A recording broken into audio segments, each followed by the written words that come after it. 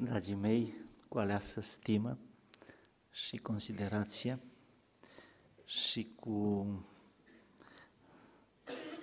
alese sentimente pentru ceea ce sunteți și pentru ceea ce puteți fi, îngăduiți-mi să vă spun din nou, bună seara și bine ați venit la biserică.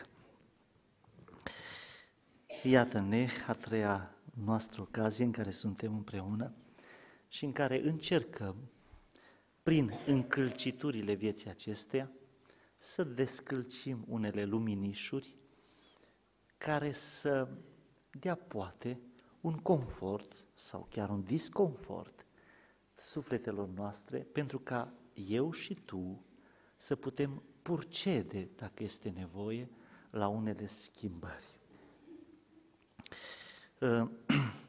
Am numit, așa cum ați citit pe invitații unii dintre voi, alții pe afișe, alții ați auzit, da?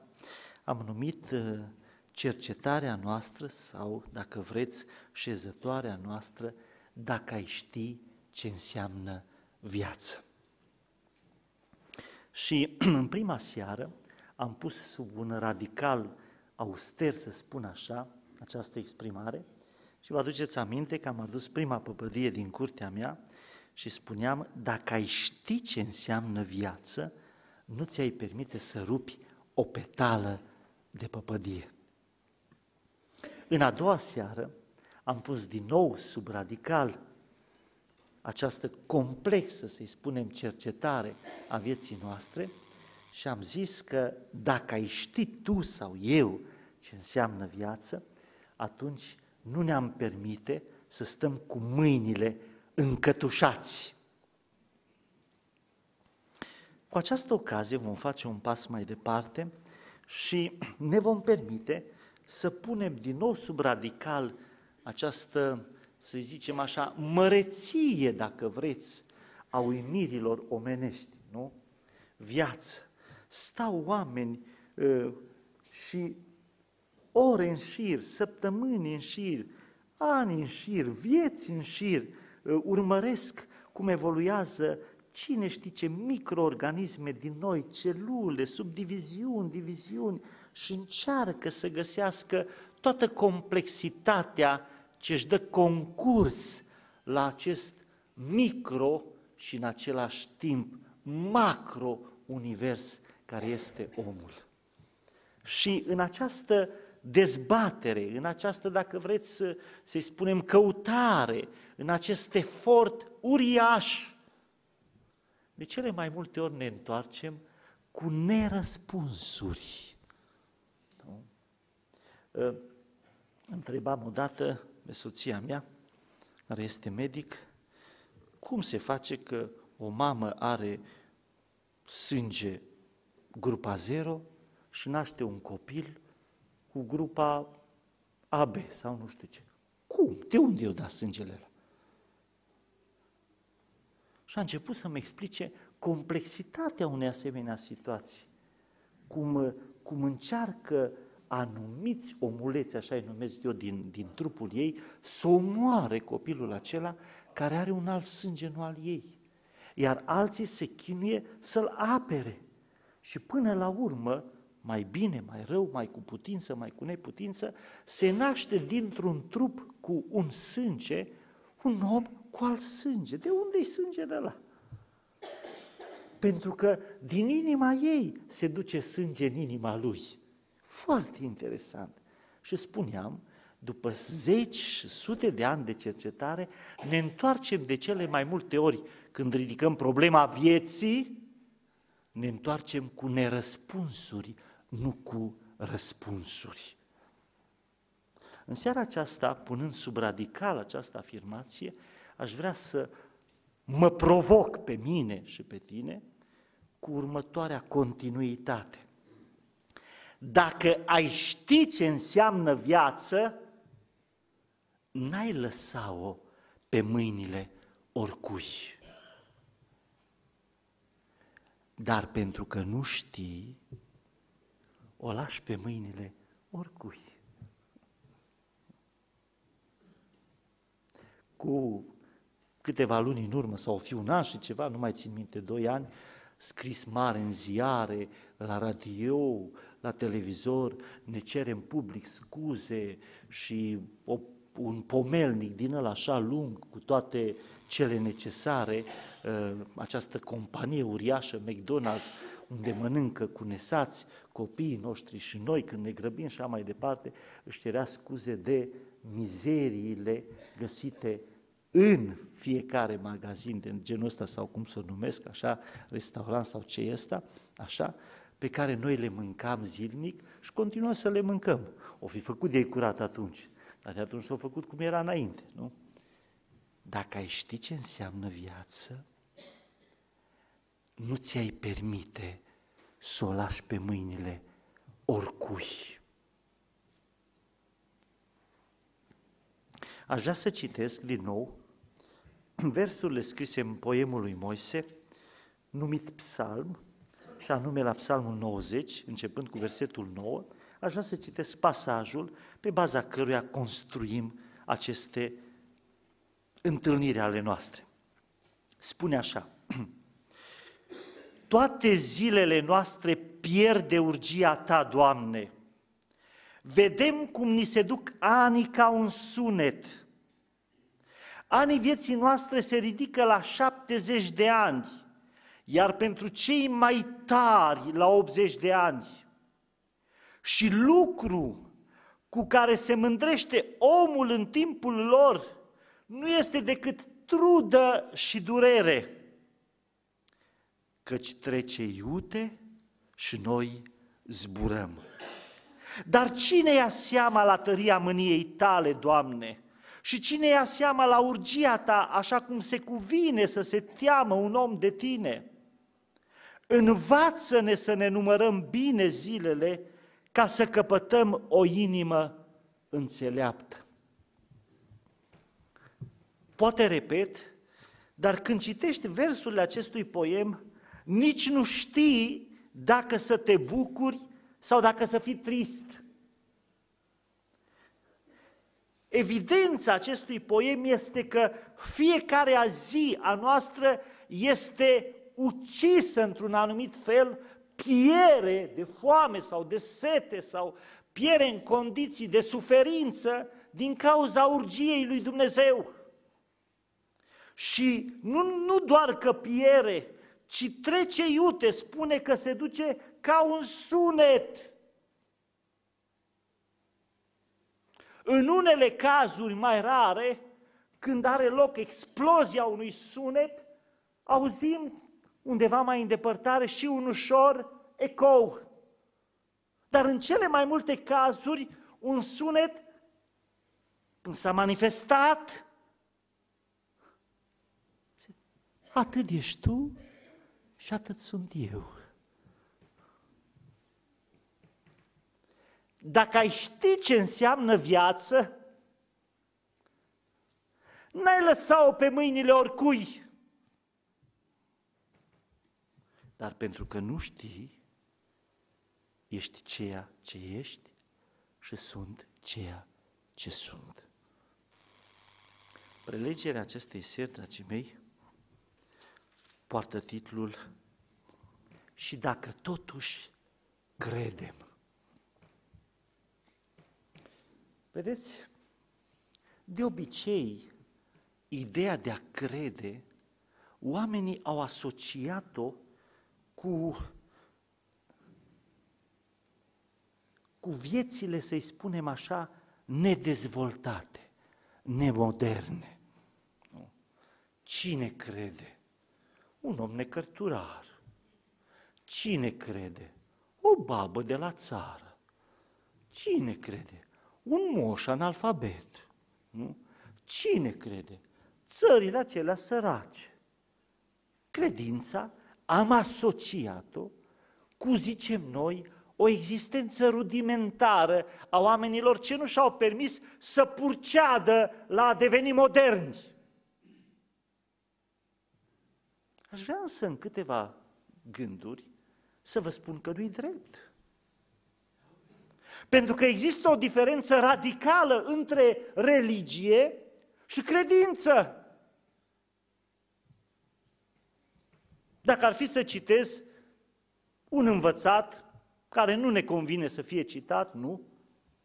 Lenin spunea că religia este un drog, un opiu al popoarelor. Cu religia ei se droghează și le mai merge o vreme bună. Când își pierde efectul drogul, se droghează din nou. Pentru că, într-adevăr, religia este un rit. Un rit stabilit de oameni, cu un scop stabilit de oameni și cu un scop atins de oameni. Atât. Și avem de multe ori pe buze, în diferite ocazii, sau auzim pe diferiți oameni importanți care fac afirmații în mass media, că omul nu poate trăi fără religie. Normal! Pentru că dacă omul are o religie, poate să fie subjugat. Nu de către Dumnezeu, ci de către oameni. Pentru că și ateismul este o religie.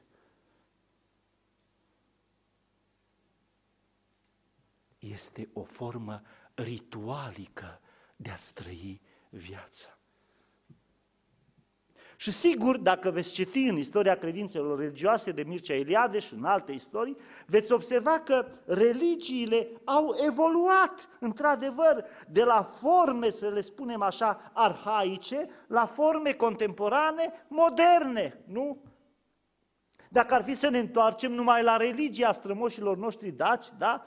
În momentul în care trebuiau repede să afle un, un răspuns de la Zamolfs, de la, de la Dumnezeul lor, al închipuiturii lor, luau o vargă, un fecior, un fecior care nu a cunoscut o, o femeie, care era bine legat, cel mai frumos dintre feciorii care le la îndemână și de la o anumită înălțime era aruncat în niște țăruși de oțel, de, de fier și îl sacrificau pe loc pentru ca instant sufletul lui să plece la Zamols și să aducă răspuns. Da, asta este o religie. Dar ca om, nu ți-e rușine să spui că omul nu poate trăi fără religie? Că poți trăi chiar bine, fără să-ți omori fiii satului ca să dea răspuns Zamolx. Sau, dacă îmi permit să mă duc puțin la egipteni, nu? Aveau religia lor. O încărcătură de rituri și de forme, nu?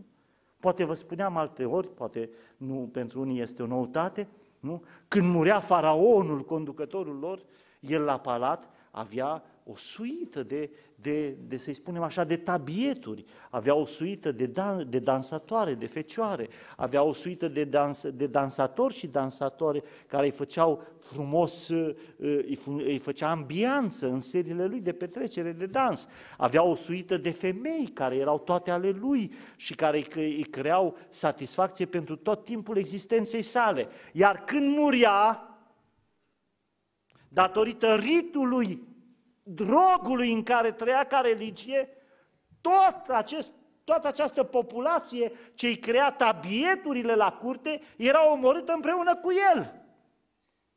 Și apoi îngropată în piramide ca el să aibă să se distreze mai departe. Însă, vedeți, formele acestea rudimentare sau arhaice de religie au evoluat. Astăzi sunt altfel.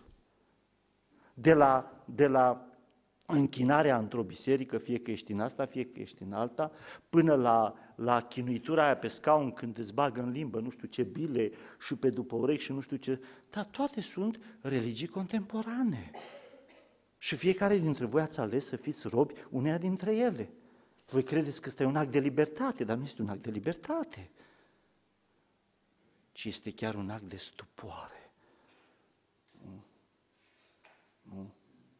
Naște bebilașul, săracul de el încă nici nu știe dacă e băiat sau fată în durerile lui și atunci alea și îi ștanțează imediat urechea, îi face gaură în amândouă urechi ca să fie sigur că e găurit. Iertați-mă cei care, care credeți altfel. Da, asta este o religie, un drog. De ce găuri tu urechea fetiței acelea care este, care fiecare pigment al existenței ei este desăvârșit. Cine ești tu ca să-i pângărești urechea? Da, ești robul religiei tale, care, scuză-mă, n-ai niciun rost.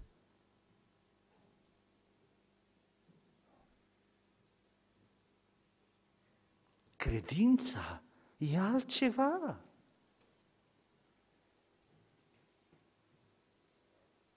Când vorbesc de credință, nu vorbesc despre ceva arhaic, rudimentar, tribal, care a evoluat spre ceva. Nu! Poate nu credeți, dar viața voastră toată este o credință. De ce vă culcați seara? Pentru că fiecare dintre voi crede că dimineața ce? Să trezești. Dacă n-ai crede că dimineața te trezești, te-ai mai culcat în seara asta.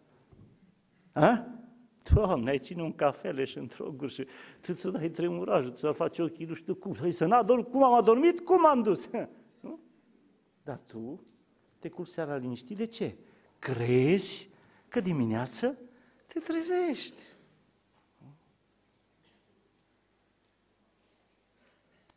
Credința, iubiții mei oameni, este o formă de manifestare a existenței noastre. Credința este speranța mea și a ta, în, în felul în care gândim fiecare, nu?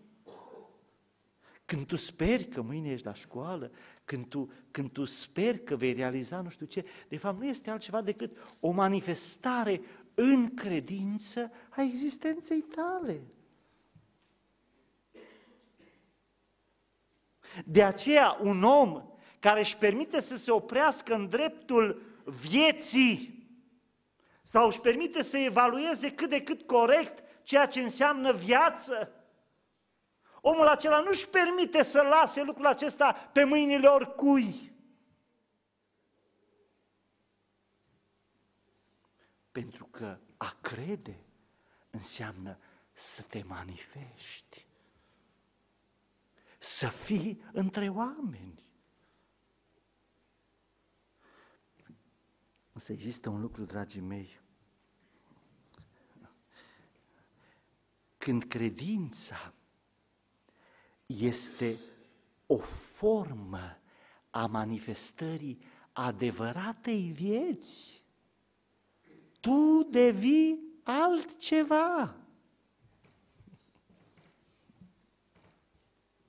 Când îți dai seama ce înseamnă viață, nu-ți mai permiți să o lași pe mâinile oricui. Și când îți manifesti credința de la nivelul minții și sufletului tău prin prisma de vedere a adevăratei vieți, atunci tu ești un alt cineva. Însă, tot mai puțin sunt oamenii care să vrea să-și manifeste acest drept sau această libertate. Aș vrea să fac un pas mai departe, să vedem care este obiectul credinței noastre. Și am redus în cât am putut din paleta sau din gama extrem de mare a obiectelor credinței noastre, am redus-o la câteva. În primul rând, dragii mei, obiectul credinței mele și al credinței tale este un trecut proiectat în viitor. Nu? Pe ce bază știm noi că mâine se face ziua? Pe ce bază? Că ieri s-a făcut ziua. Pe ce bază știm noi că vom exista încă mulți ani înainte? Pentru că în spatele nostru oamenii au existat mulți ani. Deci, în cele mai multe cazuri, credința sau obiectul credinței cuiva este proiecția trecutului în viitor. Oamenii aceștia care stau și studiază lucrurile acestea, socotesc anumite și surprind anumite lucruri foarte interesante. M-am întâlnit cu o doamnă, nici nu mai știu exact în ce context, și vorbind puțin așa probleme oarecum de credință, sociologice, își manifestă următoarea, următoarea spaimă. Zice, domnul Coman, sunt așa de speriată și, și aș vrea cumva, cumva să treacă timpul mai repede să văd băiatul trecut măcar de 30 de ani. Dar ce aveți, doamnă? Și zice, domnul Coman, am citit o carte și am aflat acolo că întotdeauna, înainte de marile războaie, se nășteau mai mulți băieți decât fete. Și, după statistica pe care o avea ea, de o vreme încoace, adică uh, băiatul ei prindea generația sau fereastra de timp în care se nășteau foarte mulți băieți și foarte puține fete. Și ea își proiecta trecutul în viitor și zice, ne așteaptă un război mare, ne așteaptă un război mare și aș vrea să știu că al meu băiat scapă de lucrul ăsta. Poate o fi drept, poate o fi fals. Tu cum crezi?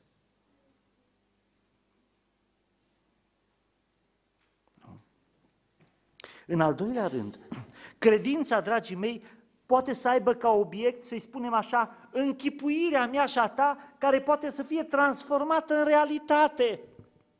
Spunea un, un, un înțelept al lumii acesteia, zicea, pentru ca omul să poată să facă din vis realitate, trebuie mai întâi să aibă capacitatea de a visa. Pentru că cine nu visează, n-are cum să facă din vis realitate.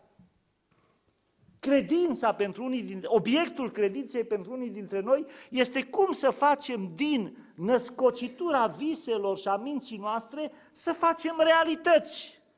Și atunci, ceea ce ne dă nouă forță de a trăi, de a exista, este lupta mea și lupta ta de a împlini în fapte și în realități visele noastre.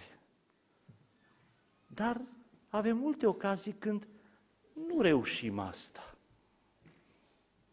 Și cu toate, crede.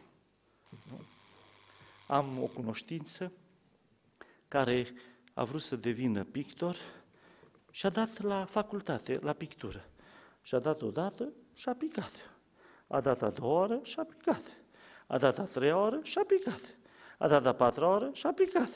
A dat a cincea oră și a picat. Nu exagerez, trăiește în viață, poate mă, o să nu și vadă într-o zi și o să zic că fii atent că cu mine are treabă. Și și-a dat de nouă ori. Îți dai seama, e o viață de copil nouă ani la rând. Și a nouă oară a intrat. Ce l-a determinat pe el să dea de nouă ori? Credința. Credea că din năzbutia lui, așa, va face o realitate. Și până la urmă au făcut. Dar sunt alții care au dat și de 12, ani, de 12 ori și nu au intrat. Și a murit visul.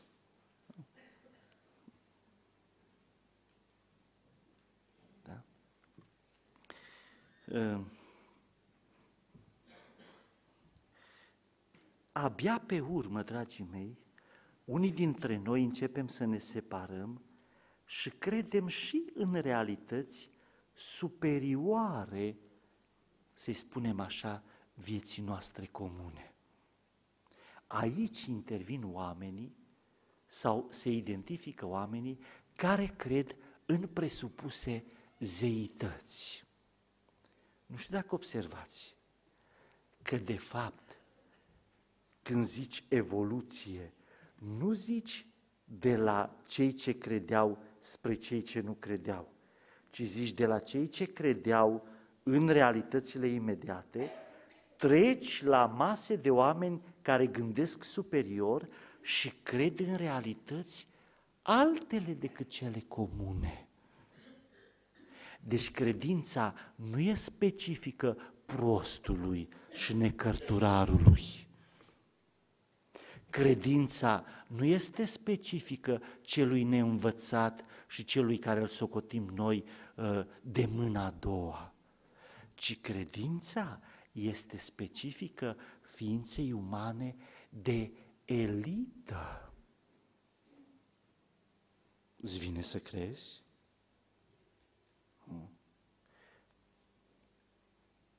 Te uiți, nu vreau să jignesc pe nimeni, poate este cineva în sală, nu? Te uiți la câte un yogin Mulți dintre voi știți că yoga e un sport, yoga este o credință serioasă, o religie serioasă, da? Nu-s mulți în oraș. Și când trece pe lângă tine are o statură și o demnitate că îți vine să te duci să joci ping-pong. Tu pe lângă el nu stai. Când vezi linia trupului lui, când vezi felul cum îi cad cuvintele pe buze, când vezi ce mănâncă și cum stă, zici, bă, eu sunt așa de periferie, nu? A crede înseamnă a fi superior, nu inferior, cum mi-a băgat și ți-a băgat ție în cap comunismul. Pentru că interesant, superioritatea lor era că aveau capacitatea să creadă chiar într-o prostie. Și, și pe, eu am fost membru UTC, nu știu dacă ați fost și voi, de partid n-am ajuns, dar cum să nu crezi? Din viacuri a luptat această țară, nu? Când mă învăța să cânt cântarea asta, și simțeam cum îmi urcă sângele de la pantofi în sus, așa, și credeam tot ce îmi spunea. Sigur, cu vremea mi-am dat seama că era ce-a fost, da. Nu? Deci, de fapt, manifestarea acestei doctrine era o formă superioară de existență și de credință. Însă știți ce este, dragii mei? Proiecția trecutului în viitor, această credință, este de sorginte umană. Sau dacă vreți, este o credință în ce au făcut oamenii. Proiecția viselor mele de a le realiza în viitor este de asemenea un demers uman. Proiecția presupozițiilor mele că există undeva nepipăibil și deocamdată necomunicabil o realitate, o ființă, ceva, sau mai multe, zei sau așa, este de asemenea o proiecție într-o invenție umană. Și nu o să vă vină să credeți. Aș vrea să vă citesc ce spune această carte despre cei cu asemenea credință. În, în cartea profetului Ieremia, la capitolul 17, Există o afirmație făcută în dreptul acestor oameni foarte interesantă sau, dacă vreți, chiar jignitoare. Ieremia, capitolul 17,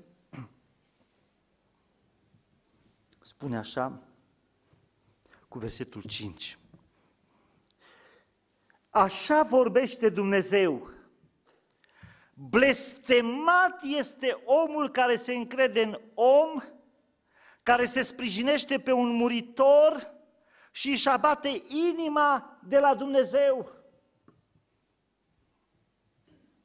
Îți pui întrebarea, de ce viața ți așa cum e? Îți pui întrebarea de ce din tot efortul tău și lupta ta iese cât iese. Îți pui întrebarea de ce aici într-un fel și dincolo în altul. E simplu. Pentru că blestemul lui Dumnezeu stă pe capul meu și pe capul tău, pentru că ceea ce ne face superiori în universul acesta, așa nume credința, am pus-o în ceea ce izbutește omul.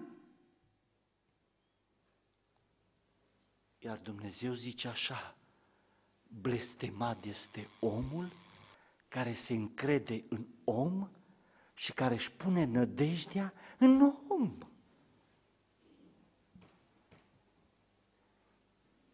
Și nu te supăra, dragul meu, dacă ai ști ce înseamnă viață, n-ai lăsa-o la îndemâna oricui.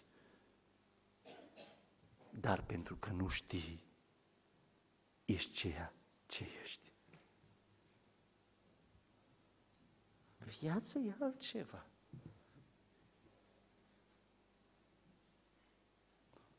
Ce, ce radical și ce, ce jignitor sună dacă vrei. blestemat e omul ce se încrede în om. Atunci când credința mea proiectează cele întâmplate ca o șansă de viitor, este o credință manifestată în oameni și blestemul lui Dumnezeu stă asupra capului meu.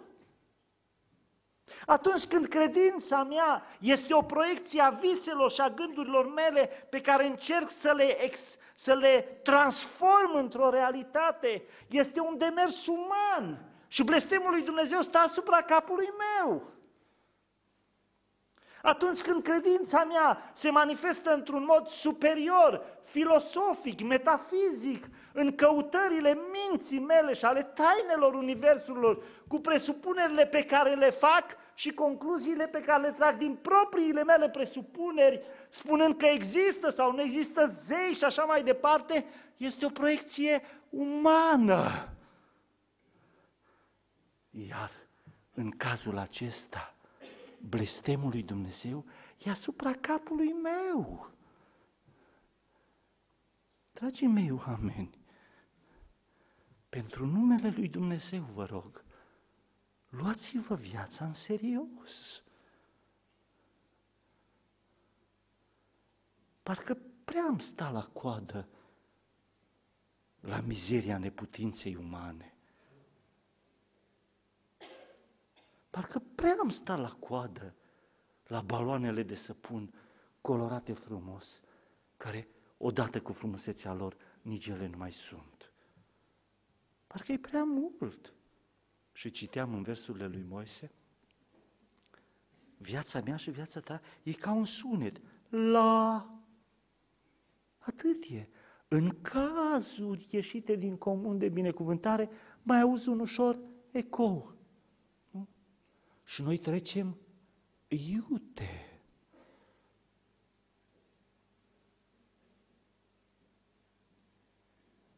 Parcă a venit vremea ca eu și cu tine să luăm seama, într-un fel sau altul, la ce înseamnă viață.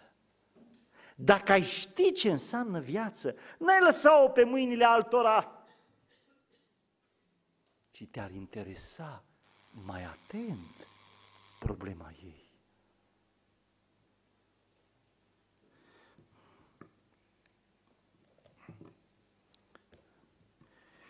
Dragii mei, am aici un plic, îl vedeți foarte arhaic, cu ceară făcut, puteți să-l vedeți așa, și am găsit în el o scrisoare. Și Aș vrea în seara aceasta să vă citesc scrisoarea pe care am găsit-o și apoi să mă întorc la text. Și scrisoarea este tot așa, dacă vedeți, um, arhaică, da?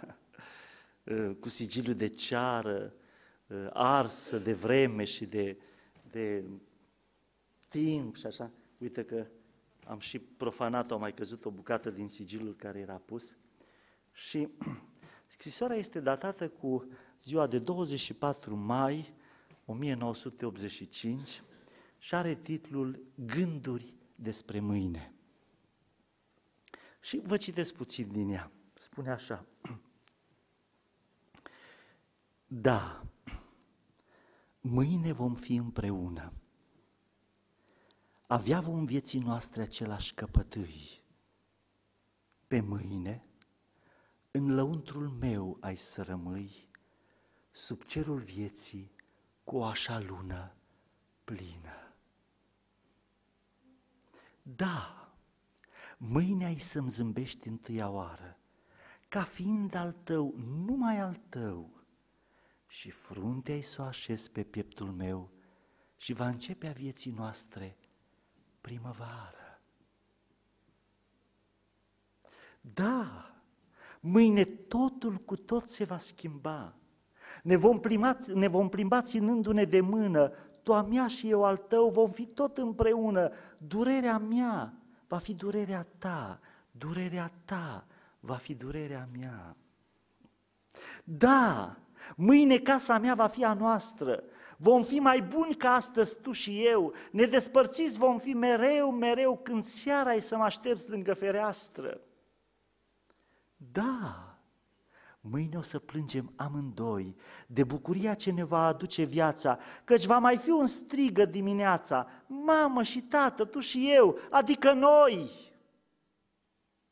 Da, astăzi mă gândesc cum va fi mâine și te privesc în ochi, iubirea mea, căci nu va putea să fie altcumva decât așa cum mă gândesc despre mâine.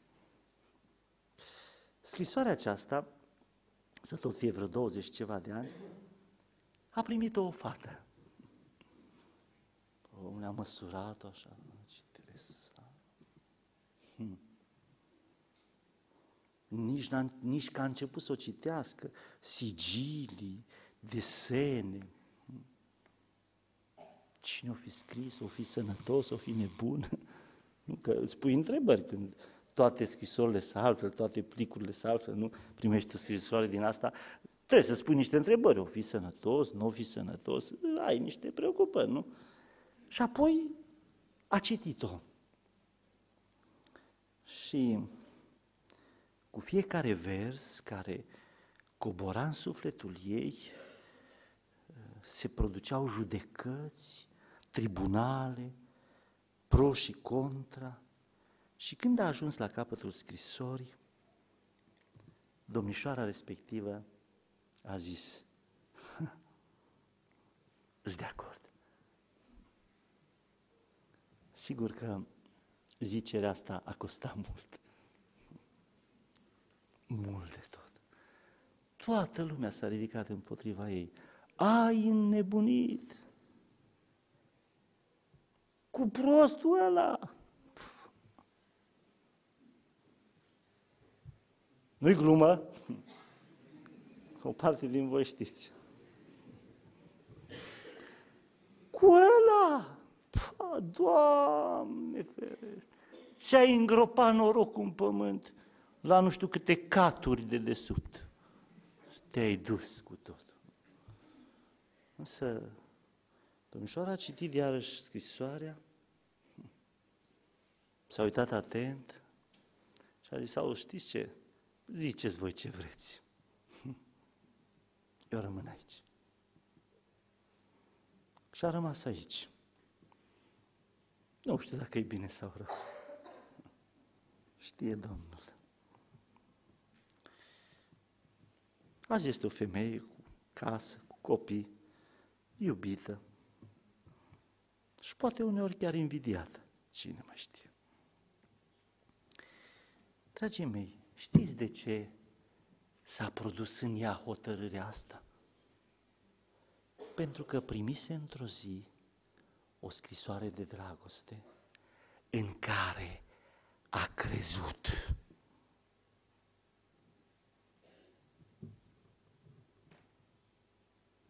A făcut toate demersurile necesare unei minți a deschis toate ședințele de tribunal în inima ei și a permis să pună toate lucrurile în comparație și în cumpănă cu mai multă minte sau cu mai puțină minte. Și în ciuda exploziei sociale care o împingea în altă parte, a zis, nu, eu cred scrisoarea aceasta.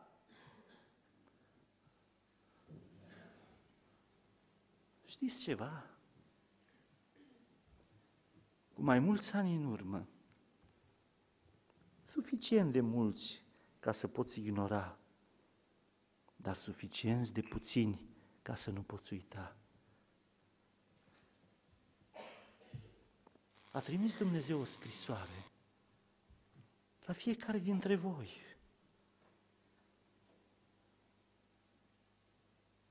Uite aici.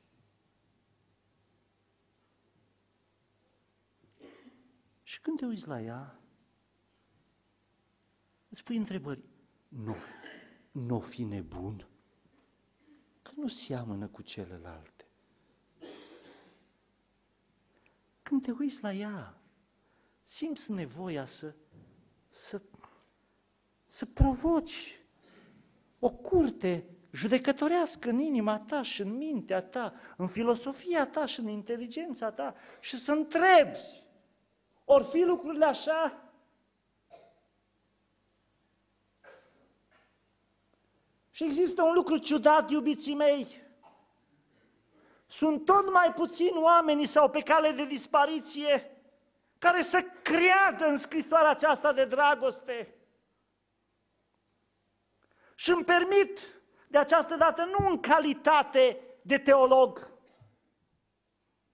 ci de, de această dată îmi permit în calitate de filosof să pun o întrebare. Dacă totuși credem, de ce să credem prostii? Dacă totuși viața noastră este o manifestare continuă de 70-80 de ani de credință, de ce să o manifestăm în realități care nu există? În casa ta și în casa mea. A venit această scrisoare de dragoste. Și spune ea despre sine, toată a fost inspirată de Dumnezeu. Și cu folos să mustre, să dea învățătură, să dea înțelepciune, pentru ca orice om care își propune să fie al lui Dumnezeu, să fie destoinic pentru orice lucrare bună. O scrisoare de dragoste a căzut în cutia ta poștală. Poți să te uiți, nu-i ca celelalte. E ciudată. Are un mesaj, are un mesaj ascuns oarecum. Cuvintele nu sunt ca celelalte. Și să vedeți ce frumos, dragii mei, se regăsește în ea intenția expeditorului. În Ieremia, la capitolul 29, cu versetul 11, spune așa, Căci eu, autorul, știu gândurile pe care le am cu privire la voi, zice Domnul, gânduri de pace și nu de nenorocire, ca să vă dau un viitor și o nădejde. Cel care a trimis această scrisoare de dragoste, așa cum o vedeți, cu neînțelegerile ei, cu neajunsurile ei, dacă vreți, cu, cu personalitatea ei, nu încadrează în mijlocul nici, a nici cărei alte scrisori. Însă autorul ei, sensibil, specietluind cu sânge ce a scris, spune așa, căci eu știu gândurile pe care le am cu privire la tine, zice Domnul, gânduri de pace și nu de nenorocire, ca să-ți dau un viitor și o nădejde. Și când vreunul dintre oameni își permite să ia în serios scrisoarea aceasta de dragoste și să zică, aici rămân, să vezi puhoiul de lume cum să ridică. Ce? Cu prostul ăla, cu îngrămăditul acela, care în viața lui n-a făcut nimic. Și multe dintre fete, când primesc scrisoarea de dragoste și aud reacția lumii, întorc spatele și zic, încat altul și s-a umplut lumea, iertați-mă, de fete bătrâne. Da.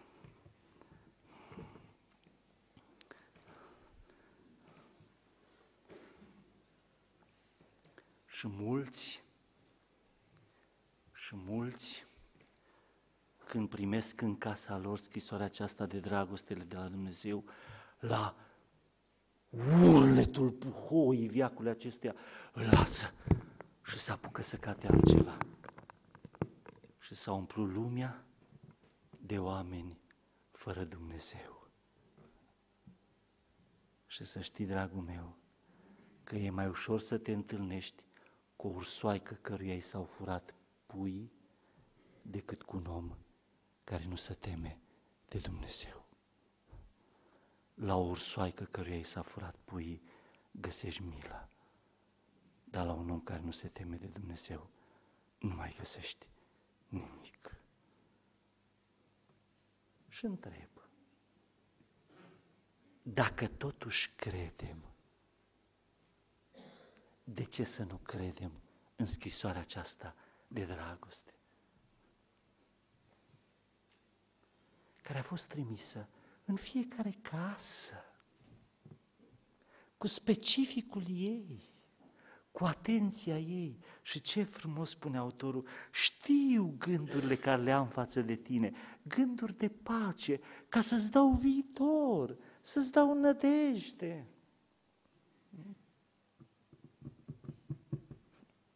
Dacă știi ce înseamnă viață, n-ai lăsa-o pe mâinile oricui.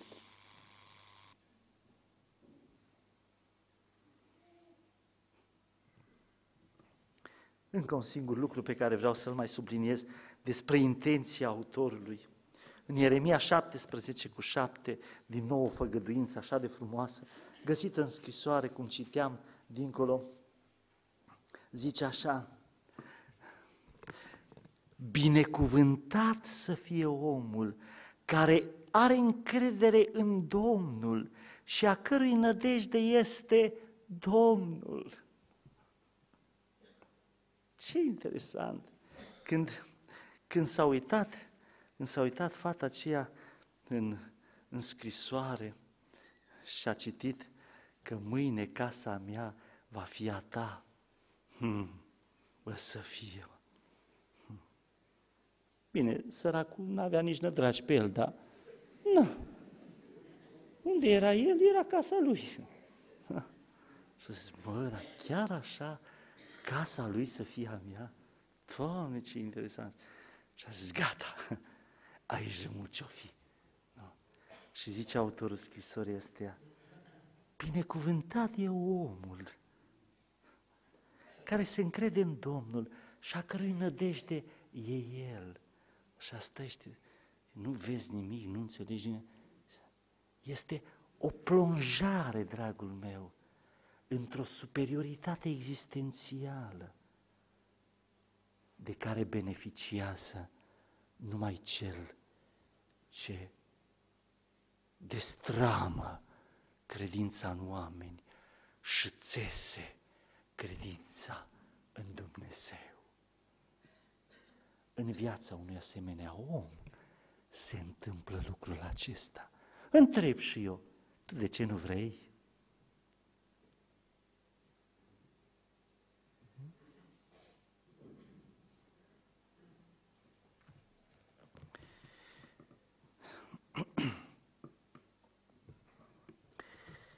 Dacă ai ști ce înseamnă viață, aș vrea în câteva teze și antiteze să vă arăt din Sfânta Scriptură ă, cum e construit portretul celui ce își lasă viața la îndemâna oricui și cum e construit portretul celui care acceptă această scrisoare de dragoste din partea lui Dumnezeu, Biblia.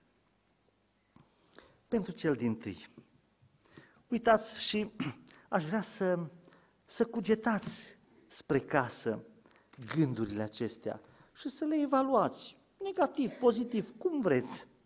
În Isaia, capitolul 42, uitați cum, cum proiectează cuvântul acesta pe omul care se încrede oarecum în oameni. Zice așa,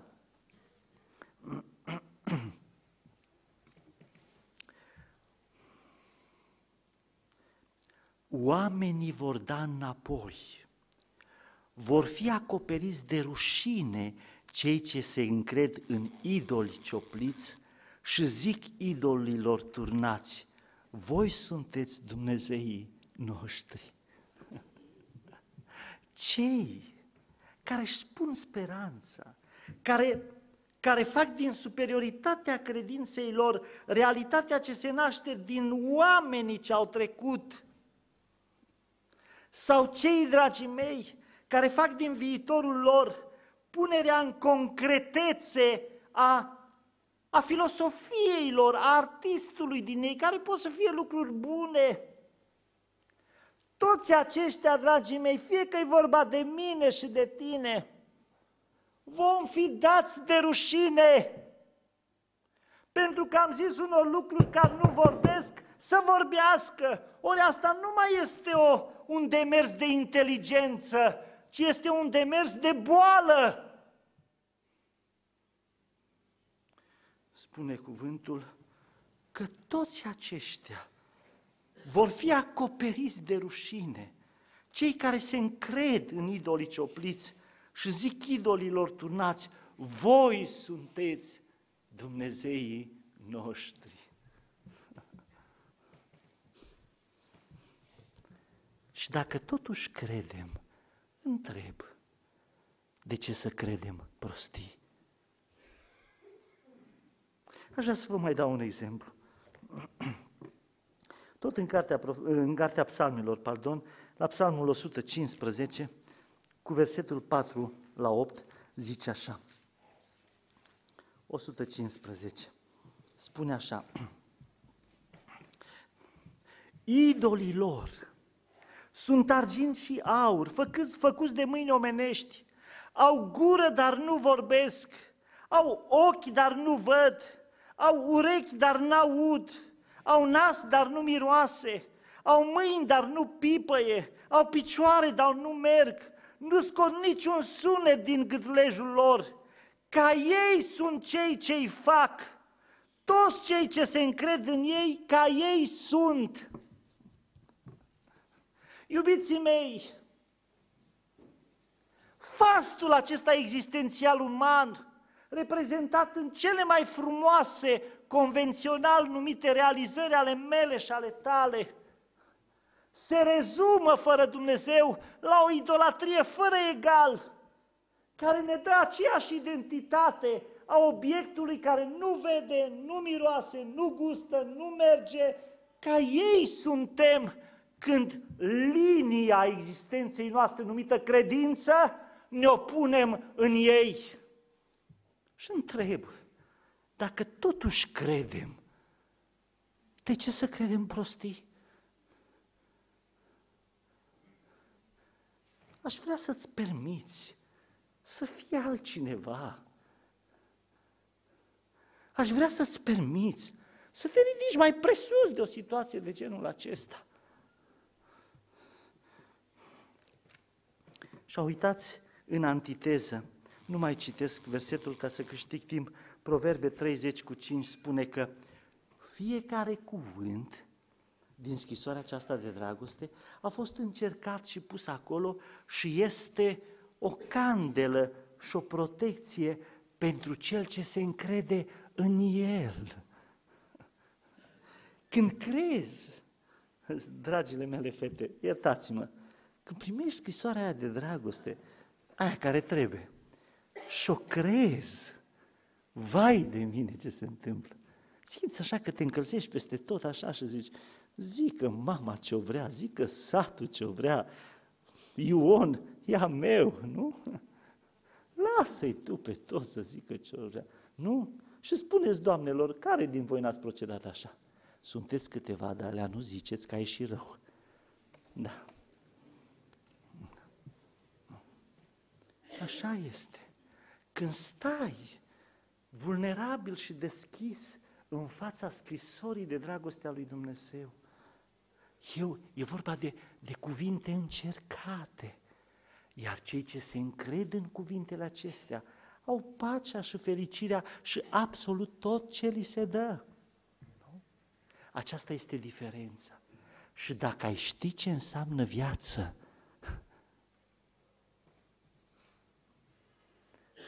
n-ai lăsat-o pe mâna oricui. Mă întorc, dragii mei, la titlul mesajului din seara aceasta. Și dacă totuși credem, spunea poetul, dacă vreți, Moise, toate zilele noastre pierd. Anii vieții noastre se ridică la 70 de ani, iar pentru cei mai tari la 80. Și lucrul cu care se mândrește omul nu este decât trudă și durere. Așa este, dragii mei, viața, lăsată la îndemâna oricui. Și dacă totuși credem, de ce să nu credem scrisoarea aceasta? Ați văzut, ca și mine, sapă unii oameni zeci de metri în pământ și găsesc câte o măsea, câte ceva, și stau și pun măseaua, îi fac poză, o pun într-o carte și încep și scriu cum măseaua asta a fost din falca nu știu cui, din anii nu știu care, așa și citim, domnule, ce interesant și credem cu zecile, cu miile de ani. Spunea, a făcut cineva o ilaritate pe internet, pare mi se, că a fost descoperit o chestie din asta pusă într-un muzeu din Londra și au zis că este de 10 milioane de ani. Și uh, pe urmă a fost dusă la New York la alți specialiști și reporterul a întrebat, domnule specialist, om de știință sau cum i-a fi zis, chiar se poate să fie chestia asta de 10 milioane de ani? Da, sigur că da, chiar mai mult, 20, 30, 50. Și s-a rămas blocat, păi cum, adică Adineaur a zis că e de 10 milioane și acum poate să fie și de 50 de milioane? Dar cum e? Vorbea de milioanele de ani, cum vorbim noi despre cribrituri. Stai un pic totuși. Dacă totuși cred și dacă totuși crezi, de ce să cred prostii? Nu.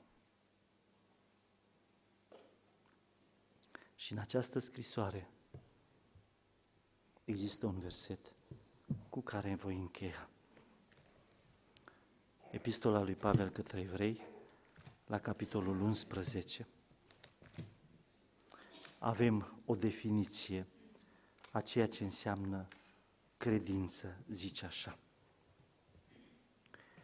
Și credința este o încredere neclintită în lucrurile nădăjduite, o puternică încredințare despre lucrurile care nu se văd. Iubiții mei oameni, dacă totuși viața noastră este o transfigurare de credință, atunci să credem în lucrurile lui Dumnezeu, în marile și făgăduințe ale Lui și puternice făgăduințe ale Lui, în scrisoarea de dragoste pe care El ți-a scris-o și mi-a scris-o. Iar cel care își permite vulnerabilitatea aceasta, acela iubitul meu om, nu-și lasă viața la îndemâna oricui. Și dacă ai ști ce înseamnă viață, n-ai lăsa-o la îndemâna oricui. Te provoc în seara aceasta să crezi altfel. Amin.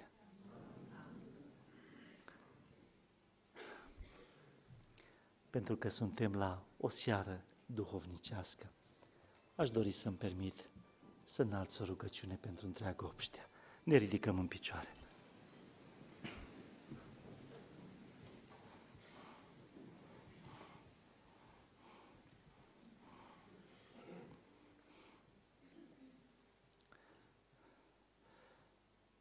Tatăl nostru care locuiești în ceruri, cu fiorul și tandrețea specifică feciorului și fecioarei, în seara aceasta îți mulțumim că potrivit cu harul tău ne-ai trimis această scrisoare de dragoste. Îți mulțumim că Sfânta Scriptură a ajuns în cutia poștală a fiecăruia dintre noi. Te rugăm frumos, dă-ne putere să o credem.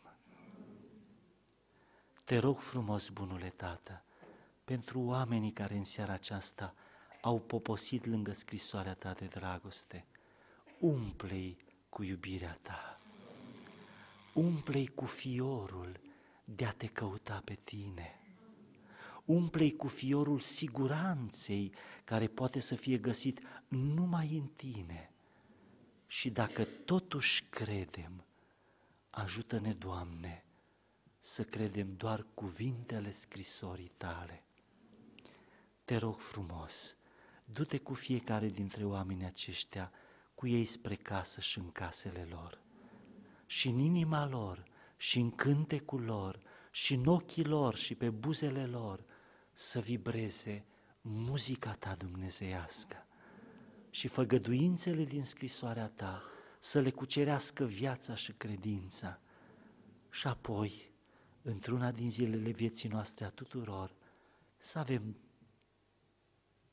dragul de a participa la nunta Fiului Tău, Iisus Hristos. Îți mulțumim că ne asculți, rămâi cu noi. Amin.